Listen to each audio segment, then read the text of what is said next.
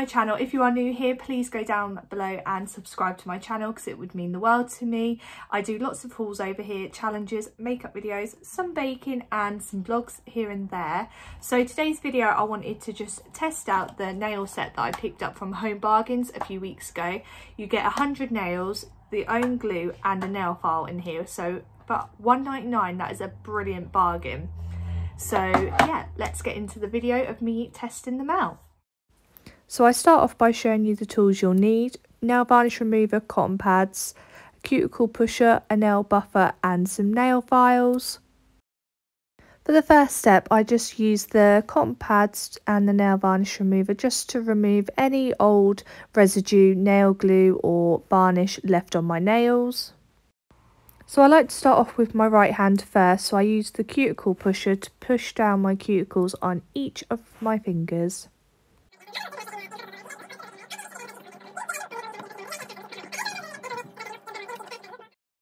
So the next stage is to use the nail buffer to just buff down gently on each of the nail. This will ensure that the glue will stick fully to the nails.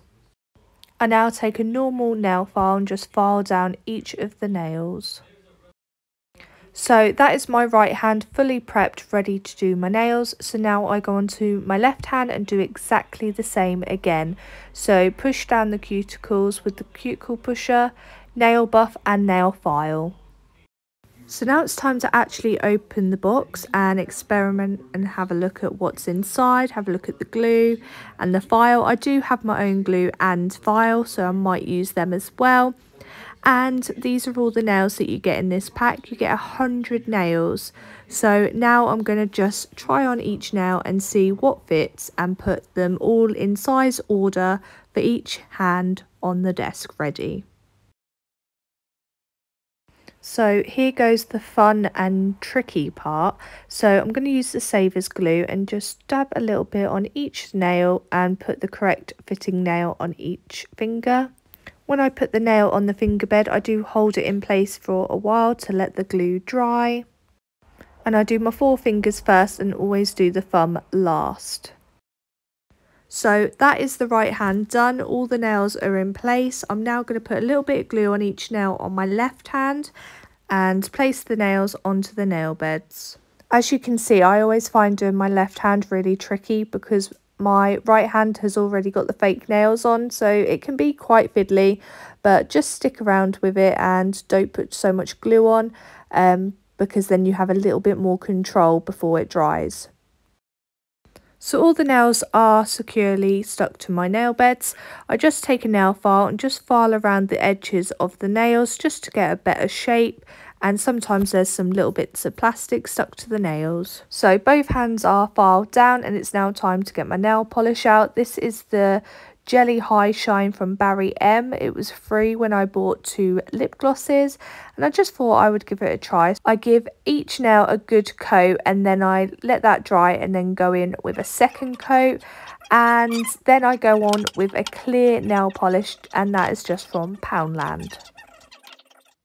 So this is my final left hand, which is always the most difficult to do, to be honest. And I think generally it's okay. There is a few little smudges, um, but I really like them actually. And for one ninety nine, I think the nails were amazing. And this is the first time using a Barry M nail polish, and I think it's really good. And I think the colour is brilliant for the spring and summer. So it's been two days now since I did my nails and they do look really good. I'm really happy with them. However, this one has come off once and I've reapplied it with glue. Absolutely fine.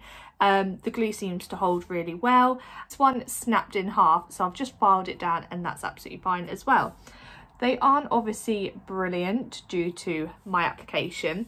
Compared to the Primark ones, um, these are a lot better because I had to cut and file them down and change the colours because I wasn't happy with them. But also for the first day and night, I struggled with pain so badly. Not that they pushed too far down, it was like it was constricting my nails. They were too tight, if that makes sense.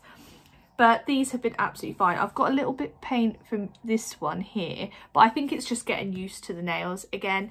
Um, these aren't very long at all. I gave them a little bit of a buff round with a nail file, but nothing compared to the ones that I had to do from the Primark ones and I just can't get over the price 1.99 so I'm actually going to go back soon and get one for my mum for Mother's Day and one for my sister because my sister loves wearing fake nails and I just think it's so brilliant because I could take this nail varnish off and just reapply with my own nails so yeah, I don't think I could get bored with these. So all in all, I am really happy with that purchase. Thank you so much guys for watching this video. Please like, comment and subscribe and stick around for more videos.